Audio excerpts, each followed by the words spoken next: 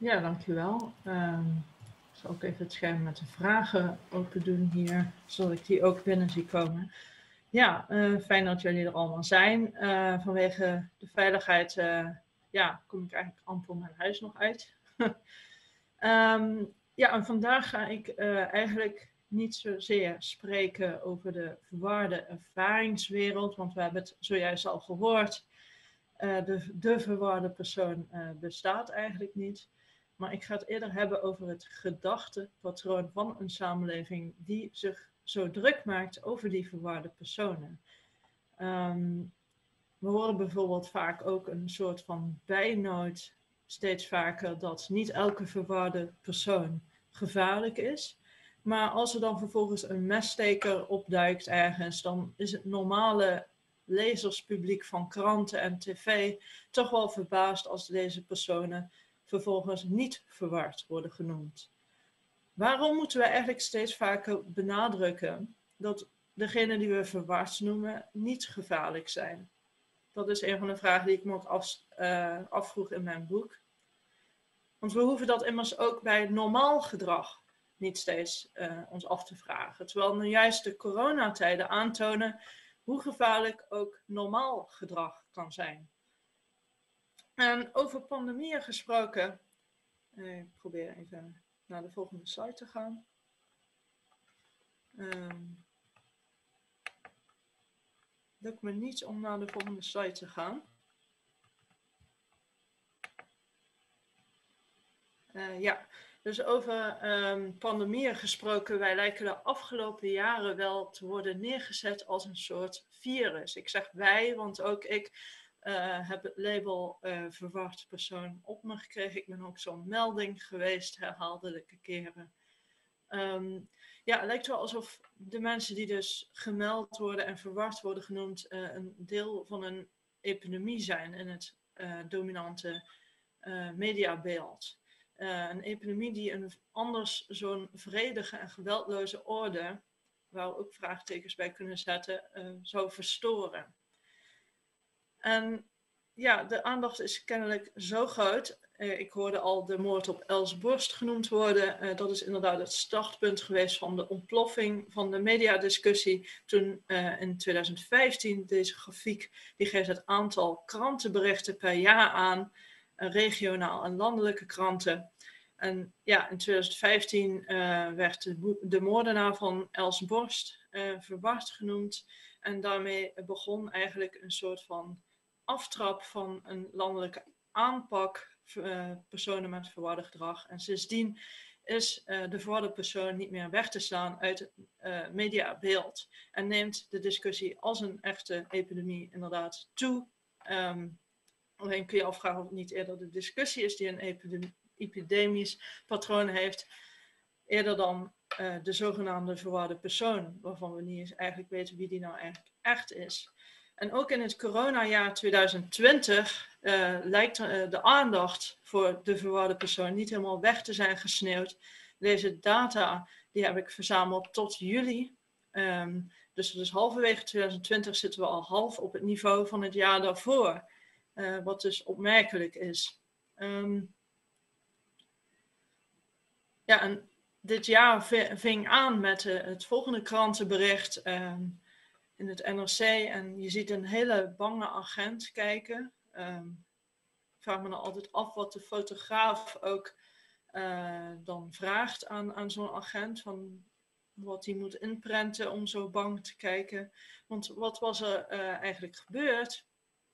Nou, twee politieauto's stoppen voor de poort van het cellencomplex in Haarlem. Het is donker. Een jongen stapt uit, zijn handen geboeid op de rug. Hij is lang en mager en heeft een bleek gezicht. Een triest geval, zegt de agent die de jongen van thuis ophaalde. Een jongen van 21 uit, uit Bloemendaal. Autistisch, slikte zijn medicijnen niet en constant ruzie met zijn vader. Nou, de jongen wordt naar cel 7 gebracht. De crisisdienst van de GGZ is onderweg. En inmiddels wordt er real-time in het artikel, ook altijd sensationeel, geschreeuwd in cel 7. En de agent zucht en zegt tegen de journalist: Het is toch ook een tikkende tijdbom.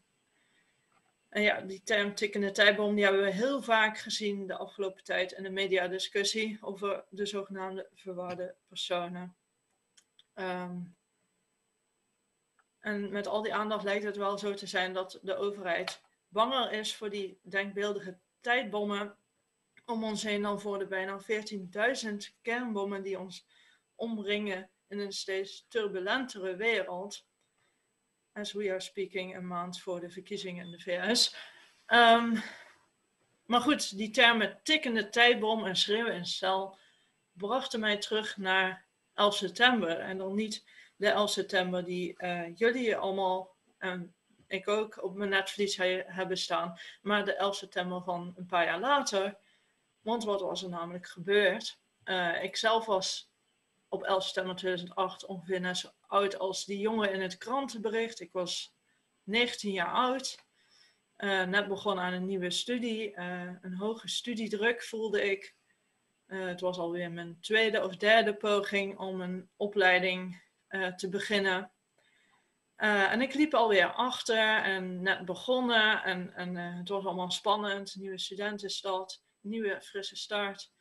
En de tentamens stonden alweer voor de deur. En vandaag had ik heel dringend nodig om flink bij te spijkeren en in te halen met de studie om de tentamens te halen. En ik ga nog even uh, lunch halen buiten en dan heb ik mezelf ineens buitengesloten uit mijn studentenhuis. En alles wat ik die dag nodig heb, studieboeken, laptop, telefoon en dus de sleutels, liggen nog binnen. Uh, dus ik zie mijn hele broodnodige studiedag uh, ja, voor mijn ogen in duig vallen en raak in paniek. Uh, ik ga het eerste beste openbare gebouw binnen, een ouderenzorgcentrum, om te vragen of daar een slotenmaker gebeld kan worden. En ja, de receptioniste die weigert, om waarschijnlijk haar goede redenen, maar ik raak helemaal in paniek. Um, begin over alle problemen, ook financieel. En ja, het gaat weer allemaal mislukken en dan moet ik weer weg hier uit deze stad en raak ik weer alles kwijt. En ik ben ook eenzaam en het wordt allemaal te veel en ik weet het niet meer. En heel veel handen in het haar, een heel paniekrelaas. En de mevrouw achter de balie zegt, oké, ik bel even een slotenmaker, ga maar even wachten in de wachtkamer. En ik ga naar de wachtkamer, opgelucht, kalmeer weer. En op een gegeven moment komen daar agenten binnen. Um, en dan blijken tot mijn verrassing uh, of verbazing die agenten er voor mij te zijn. Uh, de mevrouw achter de balie had dus geen slotenmaker gebeld, maar agenten, de politie. En um, de agenten vragen hoe het met me gaat en of er iemand is die me op kan vangen. En er is in deze nieuwe studentenstad voor mij nog niemand die mij op kan vangen. Ik heb niemands telefoonnummer bij de hand bovendien. Um, maar ja, goed, met die aanwezigheid van politie besef ik me ook gelijk. En de hele absurditeit van de situatie besef ik me dat ja, een verloren studiedag eigenlijk maar een heel klein iets is in het grotere geheel. Um, en besluit ik, misschien kan ik gewoon nu een paar uur in een café met een kop koffie wachten tot mijn, uh, mijn, mijn, huisgenoten thuis zijn. En dan gewoon weer naar binnen, uh, naar huis. Uh, maar op dat moment maakt de agent mij dus kenbaar dat als ik weg zou gaan, hij de harde hand zou moeten gebruiken. Ik citeer nu letterlijk. Um, en daar schrok ik wel van als 19-jarige die nog nooit had meegemaakt dat uh, ja, ze van de overheid eigenlijk krijgt te horen dat je niet mag gaan en staan waar je wil. Um, en sterker nog, ik moest mee in een politiebusje naar de politiecel, werd gefouilleerd en alles. En dat was toch wel een behoorlijk heftige ervaring, uh, vooral op die leeftijd. Um, en als je niks hebt gedaan, eigenlijk in feite. En dat heb ik tien jaar later weer opgeschreven, die ervaring, voor het boek wat ik uh, geschreven heb, uh, in verwarde staat. En wat ik daarover opschrijf tien jaar later, is eigenlijk precies wat ik toen ook echt dacht en wat er door mijn hoofd ging. Ik merk dat mijn stem niet verder reikt dan het glas in de inmiddels politiecel waar ik zit. En degenen die me vanaf de andere zijde aanstaren, horen mij niet. Degene wiens stem bij voorbaat al ongeldig is verklaard, kan geen tegenspraak meer bieden. Je bent een object en ik kende de weg terug naar subject zijn niet. Van binnen raak ik in paniek, een paniek zoals nooit tevoren, maar mijn ogen blijven kalm en mijn mond blijft dicht. Ik huiver, eigenlijk wil ik snel weer verzekerd zijn van mijn eigen bewegingsvrijheid. Het voelt als een lichaamsdeel dat opeens van je is afgenomen. Ik drukte op de intercom en vroeg of de arts er bijna is. Een koud en kort antwoord. Maar wat ik nodig heb is een luisterend oor. Het enige dat ik kan bedenken in deze absurde situatie is gillen.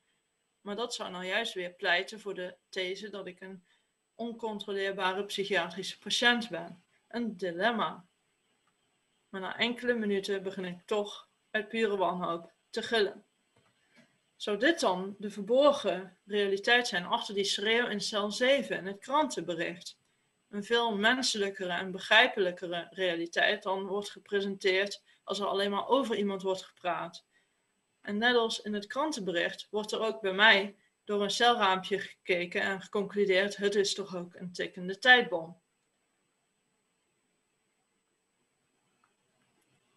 Nou ja, en wat ik me dan afvraag, is, het lijkt wel alsof afwijkend gedrag, want ik zag net al een definitie voorbij komen van verwacht gedrag. Uh, die komt van het schakelteam en van de oud-minister van eh, VWS, mevrouw Schippers. Um, in die definitie staat ook dat mensen verwacht worden genoemd op het moment dat zij door de genoemde combinatie aan factoren die al voorbij kwamen, afwijkend gedrag gaan vertonen. Dus afwijkend gedrag, daar gaat het dus eigenlijk allemaal over, is een calamiteit geworden. Normaal gedrag, dat is kennelijk niet iets waar je risico op loopt. Terwijl afwijkend gedrag, of dat nu verwacht gedrag is gaan heten, um, uh, dat is iets waar risicofactoren voor bestaan. Um, en dan heb ik het eigenlijk nog niet zozeer over de overlast, over iemand die een buurmeisje stalkt. Dat is natuurlijk, dan heb je een grens overschreden. Maar ik heb het gewoon over mensen die um, niet gewelddadige paniekaanvallen hebben. Of uh, in zichzelf praten op straat. Of verhaallijnen hebben die volgens normale mensen chaotisch zijn. Alles moeten wij verbergen, zodat anderen niet schrikken van ons, zich veiliger voelen. En dus niet de politie bellen of naar een meldpunt stappen onze veiligheid hangt eigenlijk proportioneel samen met de mate waarin we onszelf op cruciale momenten kunnen verbergen. Maar dit is niet de veiligheid waarover het gaat in de krantenberichten of in de kamerdiscussies. Um, onze veiligheid die wordt eigenlijk niet vertegenwoordigd in de Tweede Kamer. Dat is, want het normale dient eigenlijk overal universeel te zijn en te worden gehandhaafd. En degenen die gek genoeg zijn om dat uit te dagen, die moeten eigenlijk soort van met alle middelen weer snel worden teruggedrongen in normaal gedrag, zodat de anderen niet schrikken van ons. Hoe hou je dan staande als, als jouw zijn en doen niet normaal is, te midden van een maatschappij die eist van jou dat je normaal doet? Nou en hier en daar probeer ik dus zelf een uh, bijdrage te leveren aan zo'n inclusievere samenleving. Onder andere door trainingen te organiseren, die overigens gratis is uh, voor mensen die bijvoorbeeld een eigen peer support groep willen organiseren. Meer info kun je vinden op mijn website www.carlijnroeks.net slash trainings. Um, ja, en ik heb natuurlijk uh, mijn boek hierover ook geschreven, wat uh, ja, eigenlijk een combinatie is van een sociologische maatschappijanalyse en ervaringsverhalen. Um, ik heb normaal gesproken altijd een fysieke boekenkraam mee als ik ergens spreek. Um, nu heb ik het online gebouwd. Um, heb je interesse, kom vooral uh, even langs, zou ik zeggen. Ik zou het zo even in de chat gooien ook uh, de link. Je kunt ook het boek doorbladeren uh, online. En je kunt vragen stellen, um, je kunt makkelijk betalingen doen. Um, eigenlijk alles wat je ook fysiek kan doen. Um, ja, en tenslotte wil ik nog even aandacht vragen voor het feit dat ik, net als anderen, het heel erg lastig heb in deze coronatijden. Uh, heel veel valt weg. Je kunt eventueel bijdragen, dan krijg je ook extra uh, artikelen en andere dingen voor terug. Ehm, kijk vooral even rond uh, dadelijk. En heel erg bedankt uh, voor jullie aandacht. Dankjewel Carlijne voor deze mooie presentatie en het delen van je ervaringen.